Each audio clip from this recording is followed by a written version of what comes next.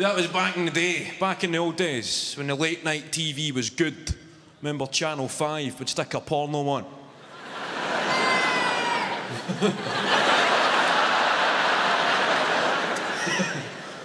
You'd have programs like Eurotrash on Channel 4, and that's what kept young people off the streets.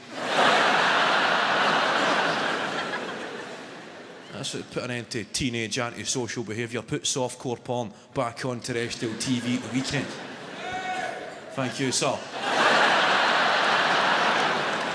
Remember, you'd be there watching Channel 5, the Red Shoe Diaries, or Indecent Proposals.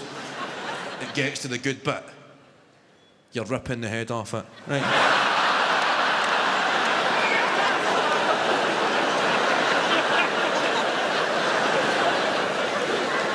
You get to the point of no return and they go to adverts.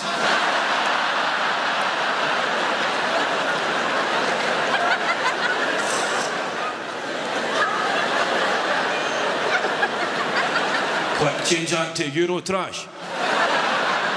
A midget poking a zebra's arse with a shopping trolley.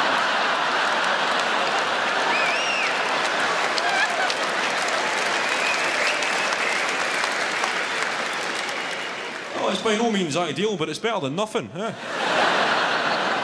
Remember finding a porn mag in a hedge? That's a dying game, isn't it? Finding a porno in a bush. Remember you'd be playing football, the ball would get kicked in the bushes, somebody would go in to retrieve the ball, they would come out with no ball.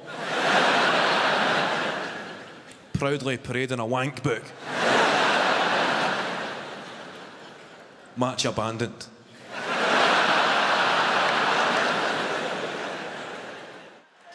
Quid or you're getting stabbed. Just you.